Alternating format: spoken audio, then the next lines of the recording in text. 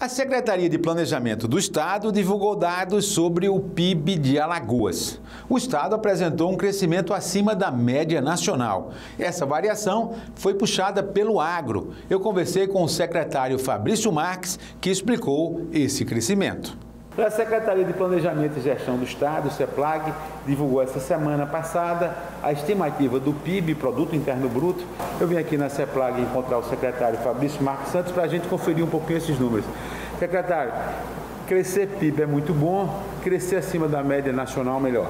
Não, muito melhor, né? Na realidade, é uma retomada da queda que teve em 2020, no caso do Brasil.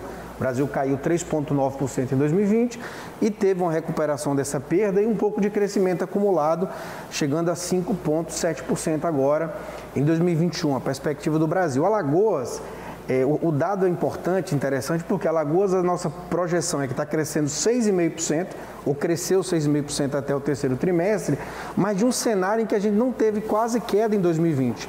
Alagoas teve uma ligeira redução da atividade econômica em 2020 de apenas 0,3%. Então a gente estava num cenário em 2020 de estabilidade, sem queda, e aí sim um crescimento muito forte é, e que se destaca entre vários setores, mas um, um setor que se destaca muito é o setor agro, que cresceu quase 10%.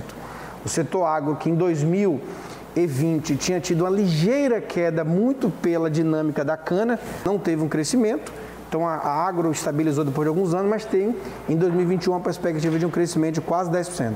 Tá, a gente vai falar muito mais do agro daqui a pouquinho, mas assim, nós crescemos 6,5% em cima, digamos, de um desempenho bom de 2020 e, e isso reflete, além do agro, eh, que outros setores, indústria, comércio, quer dizer, o setor primário, o setor terciário, eh, secundário, todos eles cresceram, mas indústria e comércio tiveram um bom desempenho também. É, em grande parte por dois motivos. Um, a retomada do funcionamento da Braskem, que teve a paralisação em 2019, começou a ter uma retomada no segundo semestre de 2020, que explica em parte a gente não ter tido queda da atividade econômica em 2020, porque a Braskem parou em 19 e voltou a operar em algum momento ali do segundo semestre de 20 e em 21 ela já opera é, durante o ano todo, claro que ainda abaixo do pico que ela operava no passado, mas isso contribuiu. Isso é um primeiro ponto importante.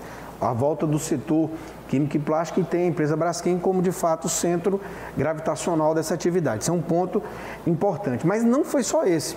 A própria atividade do comércio e serviço teve um crescimento menor um pouco do que a indústria, é, em grande parte pela manutenção da renda das pessoas em 2020, com auxílio emergencial em 2021 seja auxílio emergencial, seja também a utilização da poupança que as pessoas acumularam, seja programas também que o próprio Estado e as prefeituras construíram, isso garantiu um poder de compra para as pessoas e isso também se refletiu no aumento do comércio em 2021. É, um outro ponto importante, a própria produção do governo, em 2021, ela tem um crescimento, porque em 20, com a pandemia, o Estado teve que abrir mão de fazer, por exemplo, procedimentos é, eletivos, cirurgias eletivas, isso teve uma flexibilidade, então a retomada em 21.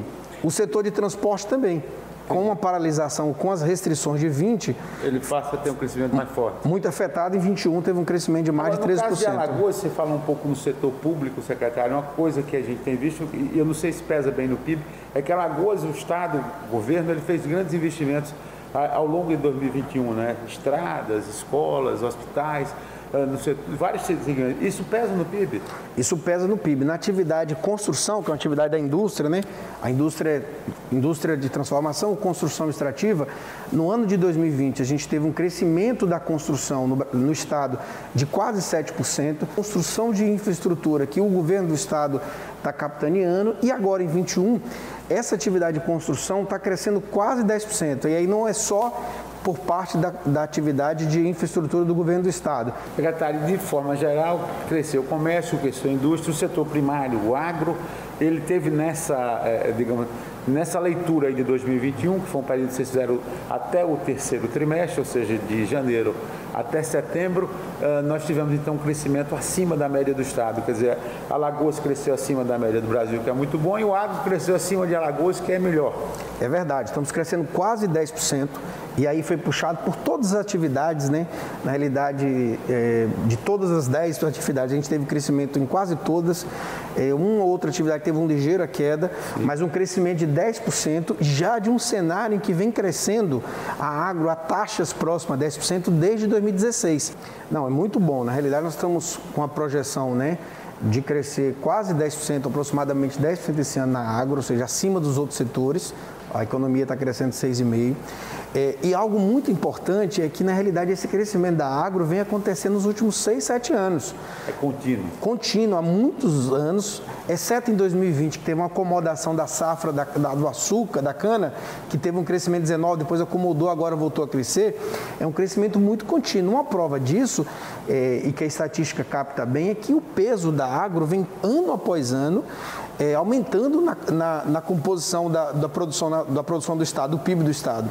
A agro, que no começo da década de 2010 pesava ali um pouco acima de 10%, fechou a década com um peso de aproximadamente 18% da economia lagoana. E aí, gostou do vídeo? Curta, comente e compartilhe. E aproveite para seguir nosso canal se você ainda não está seguindo a gente. E para ficar por dentro de mais novidades, siga o Alagoas Rural no Facebook e no Instagram. Até mais!